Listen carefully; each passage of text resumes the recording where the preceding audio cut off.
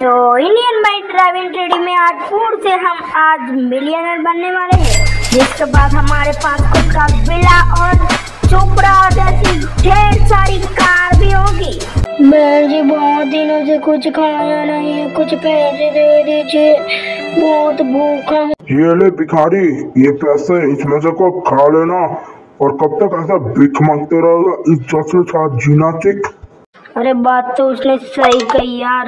कब तक ऐसे जीऊँगा यार? पड़े पड़े। मेरे पास खुद का घर भी नहीं है।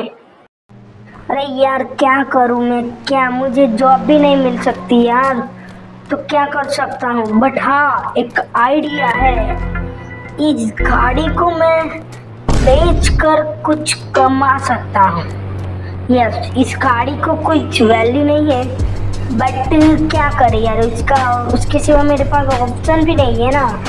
तो उसको जो कर आइसक्रीम का शॉप खोल दूँ उसको माला माल हो जाएँगे।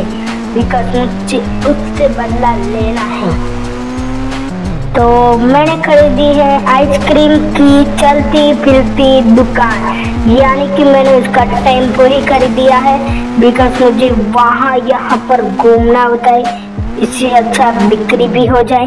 तो मैंने यहाँ पर खरीद कर दी है। आ जाओ आ जाओ सब।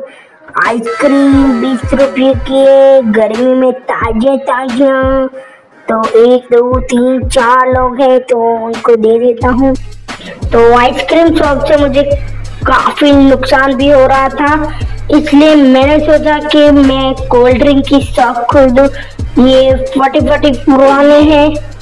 और बहुत ही पुराने इसमें कुछ कस्टमर आ जाते हैं फ़िलहाल के लिए। कोल्ड ड्रिंक शॉप भी मैंने बेच दी बिकॉज़ उसमें भी एक दो कस्टमर आ रहे थे, इसलिए मैं वो भी बेच दी मैंने। किसका फ़ोन है यार? ओ, रोहित फ़ैन का वो मेरे साथ बिग माँगता था वो। क्यों फ़ोन किया होगा उसने? हाँ बोलो बढ़िया ना सब। बढ़िया बढ़िया बट तुम अभी कहाँ पर हो? मुझे तुम्हें सरप्राइज़ देना है। तो मुझे एड्रेस सेंड कर दो मैं अब भी पहुँचता हूँ।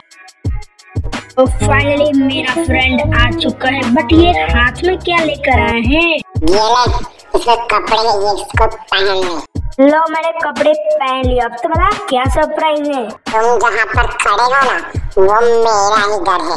पीछे मुड़ कर देख। वो ओ भाई इतना बड़ा घर यार। कितना बड़ा घर रख लिया है तूने। तू तो यार क्या ही बता यार घर बहुत ही बढ़िया है यार। मुझे ठीक बता यार क्या है।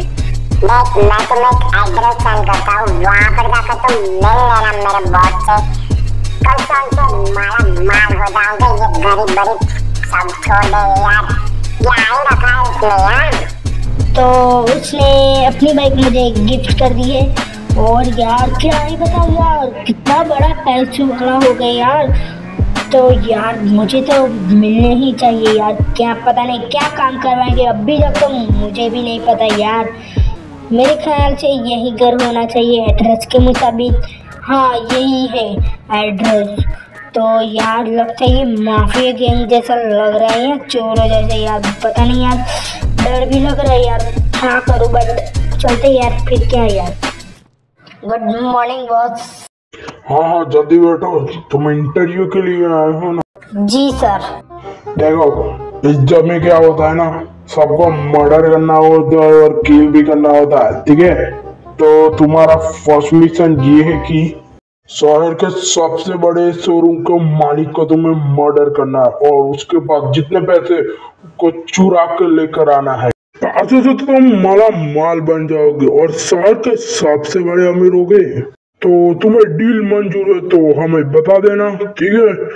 और कल जॉब लग जाना। ठीक है सर, मैं कल देखूँगा कि क्या है। हाँ मैंने कल सोचा है कि माफिया गैंग को ज्वाइन कर। अरे मत जंकर वो माफिया गैंग का बहुत बहुत ही खतरनाक है बट आगे तुम्हारी मर्ज़ी तुम्हें ज्वाइन करना है तो करो मैं क्या कह सकता हूँ?